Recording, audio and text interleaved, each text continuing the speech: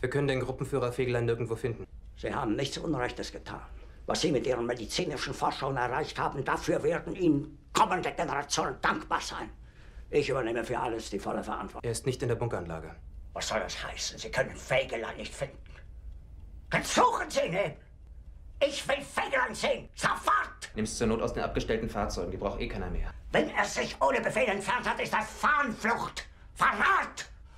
Bringen Sie mir Fegelein! Fegelein! Fegelein! Fegelein!